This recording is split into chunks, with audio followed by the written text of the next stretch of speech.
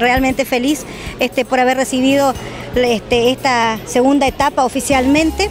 El edificio de a poquito se va concluyendo este, y sobre todo porque tenemos tantos alumnos y tenemos tantas ofertas educativas en, nuestra, en nuestro edificio. Es una escuela abierta a la comunidad. Tenemos talleres del Centro de Actividades Juveniles, tenemos eh, a la noche un acelerado para jóvenes y adultos y es el comienzo de una nueva etapa.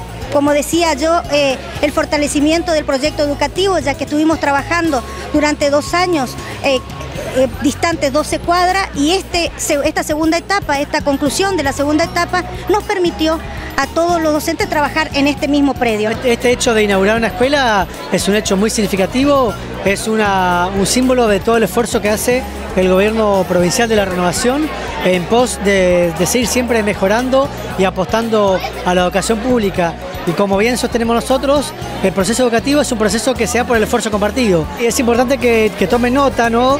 Desde el Consejo de Educación, en la página web hemos informado un ejemplo estimativo de cómo queda cada, cada escala salarial para los distintos niveles de enseñanza y distintos niveles de antigüedad porque es importante el impacto que tiene en el sueldo de bolsillo. Estamos hablando de un aumento de entre un 20 a un 22% ya en el mes de marzo, sin perjuicio que a lo largo del año van a haber otros, otros incrementos que se van a ir este, discutiendo en el ámbito de la, de la mesa de diálogo con todos los gremios que participan de esta mesa de diálogo docente. Así que ya para el mes de marzo, todos los docentes de todos los niveles van a tener un incremento importante de su sueldo de bolsillo, que es justamente parte del esfuerzo que hace el gobierno de la renovación.